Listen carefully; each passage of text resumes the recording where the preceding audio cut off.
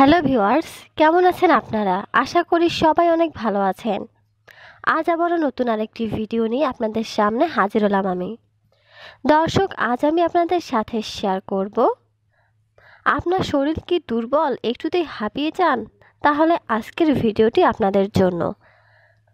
তাই পুরো ভিডিওটি মনোযোগ সহকারে দেখুন, আশা করি অনেক উপকার পাবেন। কয়েক ধাপ সিঁড়ি উঠলেন, এতেই হাঁপিয়ে গেলেন। এটি কি কোনো শারীরিক সমস্যা না অন্য কিছু? এই বিষয়ে কথা বললেন ঢাকা মেডিকেল কলেজ ও হাসপাতালের মেডিসিন বিভাগের অধ্যাপক খান আবুল কালাম আজাদ। তিনি বলেন, অল্পতেই হাঁপিয়ে ওঠার তিনটি প্রধান কারণ রয়েছে। সেগুলো হলো রক্ত স্বল্পতা, ফুসফুসের কোনো রোগ এবং হৃৎপিণ্ডের কোনো অসুখ। রক্ত স্বল্পতায় যারা ভুগছেন, তাদের অন্যান্য লক্ষণের পাশাপাশি অল্পতেই হাঁপিয়ে ওঠাও একটি লক্ষণ হতে পারে। কারও কারও ক্ষেত্রে শ্বাসনালীর বিভিন্ন রোগেও দেখা দেয় অল্পতে হাঁপিয়ে ওঠার সমস্যা।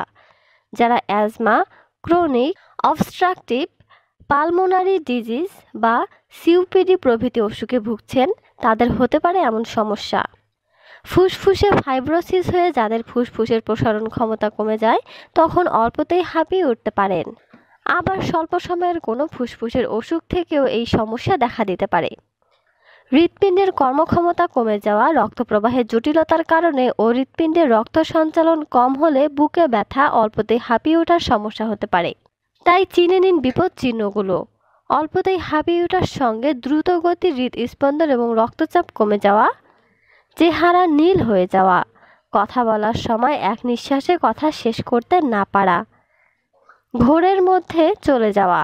এর জন্য কি কি প্রতিকার ও প্রতিরোধ করতে হবে? অল্পতেই হাঁপিয়ে উঠলে আতঙ্কিত না হয়ে চিকিৎসকের শরণাপন্ন হন। সমস্যা প্রকট আকার ধারণ করলে হাসপাতালে গিয়ে অক্সিজেন নেওয়ার প্রয়োজন হতে পারে।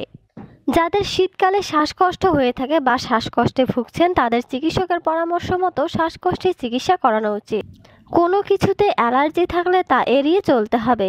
যদি বুকে চাপের সঙ্গে অল্প সময় হাঁপিয়ে ওঠার সমস্যা হয় তাহলে হৃৎপিণ্ডের কর্মক্ষমতা পরীক্ষা করে দেখা উচিত। রক্ত স্বল্পতা এড়াতে যা করণীয়। খনিজ সমৃদ্ধ খাবার খেতে হবে। অন্যান্য পুষ্টি উপাদান থাকতে হবে প্রতিদিন খাদ্য তালিকায়। খালি পায়ে মাটিতে হাঁটা যাবে না। কৃমির ওষুধ খেতে পারেন। মেয়েদের ক্ষেত্রে মাসিকের সময় অতিরিক্ত রক্তস্রাব হলে চিকিৎসকের পরামর্শ নিতে হবে। বয়স্কদের ক্ষেত্রে রক্ত স্বল্পতা দেখা দিলে দ্রুত চিকিৎসকের কাছে যেতে হবে। তো দর্শক, আশা করি আপনারা বিষয়টি বুঝতে পেরেছেন। তো এই ছিল আমাদের আজকের ভিডিও। ভিডিওটি ভালো লাগলে অবশ্যই একটি লাইক দিন এবং বন্ধুদের সাথে বেশি বেশি করে শেয়ার করুন। সবাই ভালো থাকবেন, সুস্থ থাকবেন। ধন্যবাদ সবাইকে।